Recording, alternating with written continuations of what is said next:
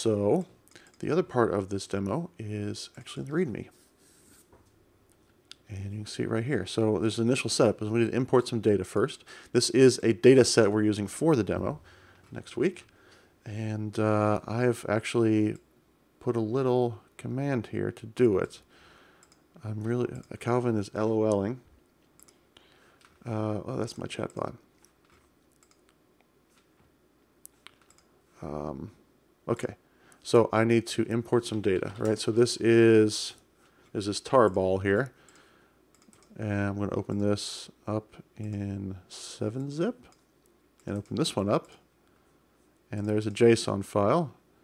So uh, can I, I don't know, just drag this over here? Okay, good. All right, so and then I'm going to create a bucket called, I don't know, call it CRM data. Good enough for me. Let's give it 300 meg of data. That should be plenty. Now, I did not create this data set, neither did Denis. This was a data set that was given to us uh, by some of the event organizers. Uh, it's going to be the sort of a unifying data set. It's a, I don't know if you're familiar with the term CRM, but this is a kind of a mock CRM data set that we're working with here. All right, so we've got this JSON file. And now I'm going to import it into Couchbase. So I've got the CRM data bucket. Uh, program files, Couchbase server bin, and that's a cbimport. And it's JSON data. And we're going to import it into the Couchbase local cluster. And the username is administrator. Password is password, very high security here. Bucket name is CRM data. Uh, the file name is CRM list JSON. We have to give it this file colon slash slash syntax. It's in list format and we're going to generate a key based on the ID in each JSON data, and we're going to give it four threads. I'm not sure why four threads. That's just something Denis threw in there. Uh, we could give it zero threads or the default, or zero threads. Zero threads wouldn't work, but we could give it the default one thread, I think. Um, now, before I run this, it's going to spit out some errors. There are 183 documents in this sample bucket that do not have an ID field in them that's named ID. Uh, but I've, I've I've checked with the organizer uh, of this uh, data set, and that's totally fine. Uh, it, we can ignore those pieces of data. Oh, what didn't didn't it like? Unexpected argument for option F. Huh? Oh, I didn't put list. I thought I typed list. I didn't. List. There we go. So there are the errors. No big deal. 183 of them total. At the end, we should see 183. But we should also see documents flowing into CRM data at this point. I think there's 188,000 total, something like that. There we go, 101,000 documents, 183 failed. So there we go, 101,000 documents. You can see all the documents in there. Now for our application, we're interested in mainly two documents. So these are the actual steps of the demo. We have Act 1 and Act 1 event. Okay, let's check those out. Act 1 this is a, account. This represents a, uh, in a CRM, an account is a, a person who you're selling to or you're trying to sell to, right? Well, if, if it's a sales CRM, right? It's a person whom you're trying to manage a relationship with, right? So we've got uh, just some data here. This is the, the Smith Limited account. It's a heavy equipment, and here's their, here's is the person who's assigned to it, and then here are some contacts at the company, and uh, and so on, right? Um, We've also got EVT. And you know, CRM, uh, wait, what? Is it EVT? Yeah, Act 1 EVT. Why isn't it showing up? Huh? Is that something that's created brand new? This demo? Account, content as objects. Get on account. Hmm. Well, that's a problem because it's supposed to be in there that was in there for when I ran it on my laptop. Jack 1 EVT. Hmm, not good. Not great, Bob.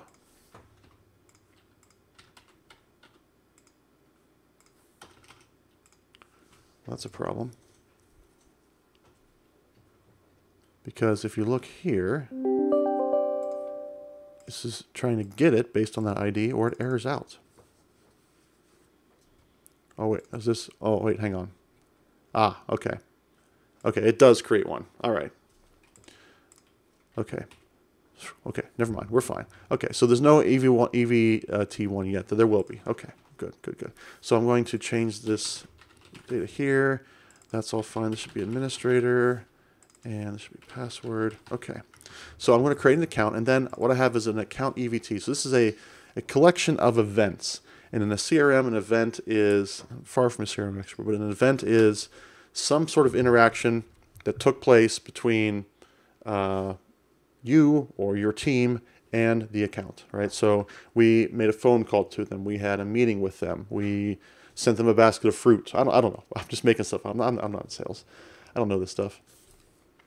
Uh, but th- you track all those events, so you know you're not annoying them too much. Or hey, did someone send them a basket of fruit yet or not? Oh yeah, it says here in the CRM we sent them some fruit.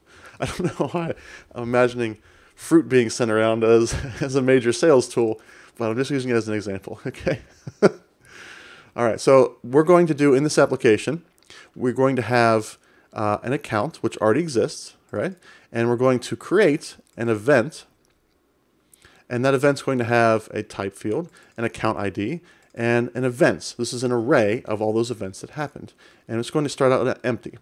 Okay.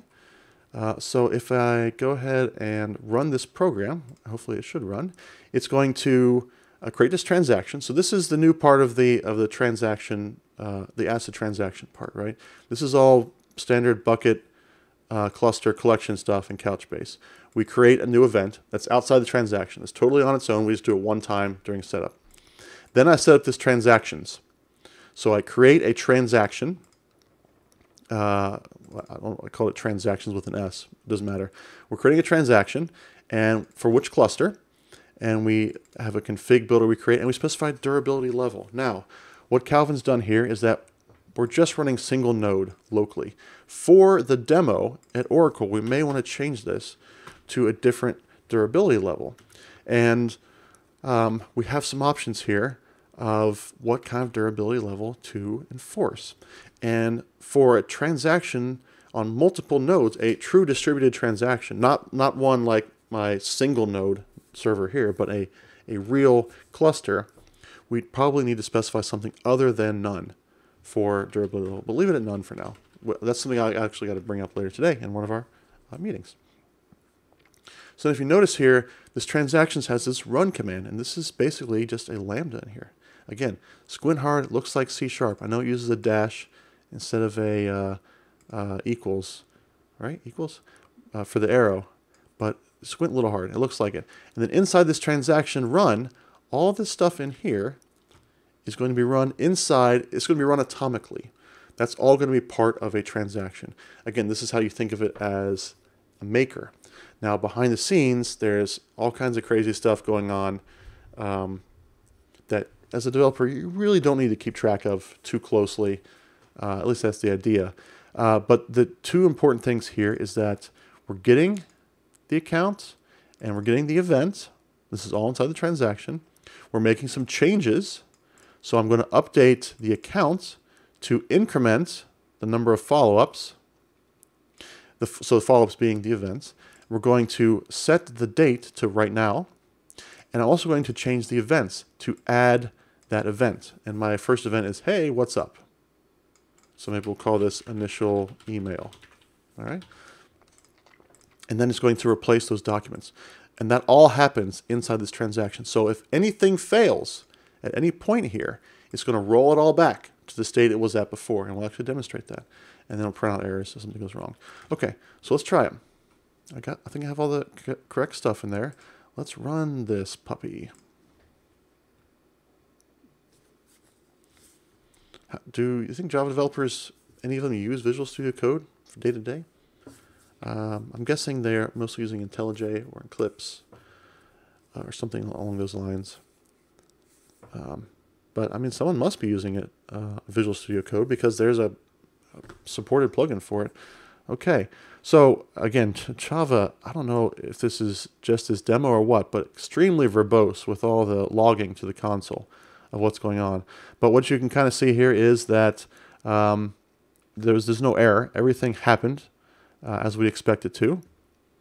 Um, so the transaction went off. We can actually verify that. So let's go to account one, and we can see that last interaction. This is today's date. This fields weren't here, and we have one follow up. So I go to account one EVT. That document now exists, and you can see it has the hey, what's up initial email. All right, so we're doing well here. And let's just uh, take this another step further and uh, send basket of fruit. I don't know. We're going to send that fruit basket. So again, this is we, we'd expect this to add another event to here. So this event array would increase by one. And we'd expect the follow-ups here to increase to two and the last interaction to that to date to also change. So actually, if you look, this last interaction date there, that should match the one in the other document. So let's paste it in to compare it side by side, and you can see that they do match. So that's perfect. So we're going to do another transaction, sent basket of fruit. So again, we will run this demo. Right click and run.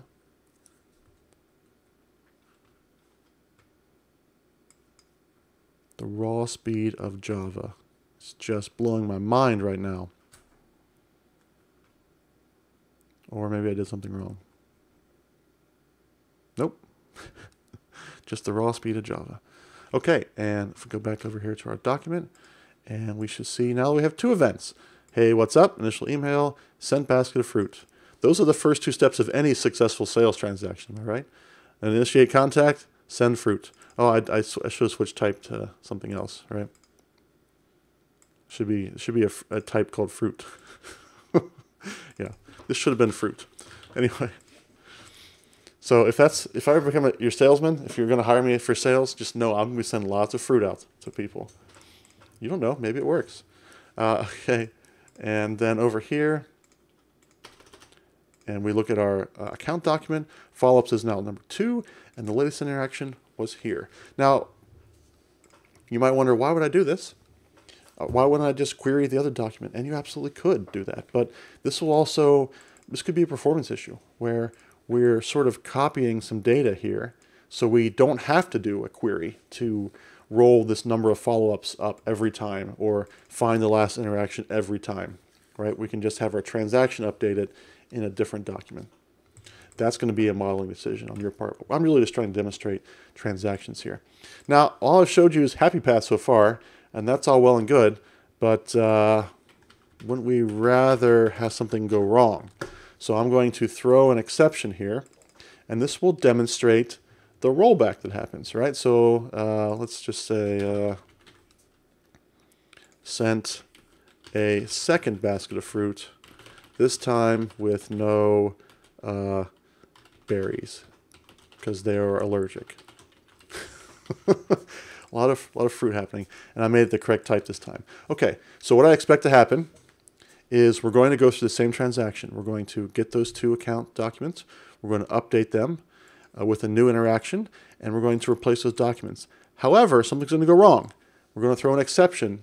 We're just going to simulate some something went wrong, and by default, uh, if an exception is thrown, it's unhandled inside this transaction, that's going to trigger a rollback. We could also probably say ctx.rollback. We could manually uh, specify rollback. Uh, and also at the end here, we could also uh, explicitly uh, order a commit as well, but that is also implied.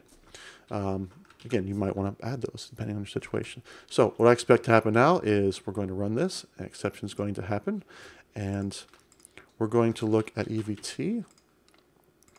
See that, uh, yeah, this has two.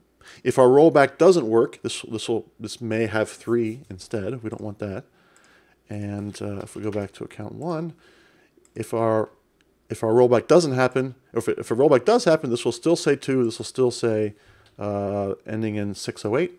If it doesn't roll back, something goes wrong. This might be a different number, a different date. Okay, so that's the success criteria. We'll run this again. And again, let's just sit back and witness the raw speed of Java blasting its way through the enterprise. Explosion sound effect. lasers, car engine, vroom, vroom. Okay. All right, so you can see we've got exception here. Uh, here's the exception uh, somewhere. Well, I mean, there's some other exceptions that are happening. Uh, yeah, here's IllegalStateException emulating a rollback.